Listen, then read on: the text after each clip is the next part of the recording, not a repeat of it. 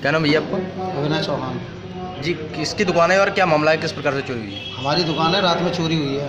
किसके नाम से दुकान है? अविनाश चौहान हमारे नाम से। क्या क्या चोरी हुआ है? किस प्रकार से? ड्राई फ्रूट सारे चले गए गले के पैसे चले गए और जो मंदिर में पैसे रखे थे वो भी सारे चले गए। किधर से आई चोर? कुछ पता है बगल वाली कोठी से छत से होते हुए।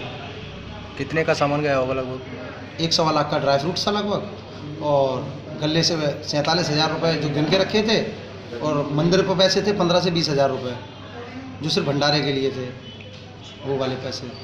टोटल ड्राई फ्रूट्स काफ़ी चला गया है। जिस प्रकार से दुकान है उसमें सीसीटीवी फुटेज वगैरह तो लगे फ़ोटोज़ में होंगे। आ तो रहे हैं सब कुछ आ रहा है। तीन लोग थे सब कुछ आ रहा है बढ़िया तरीके से। आए हैं गए हैं सामान लेके गए हैं सामान उठ नहीं रहा है सारी चीज़ें हैं। तैयारी थी पुलिस को? तहरीर दे दी पुलिस कार्रवाई कर रही है वो बैठी हुई है।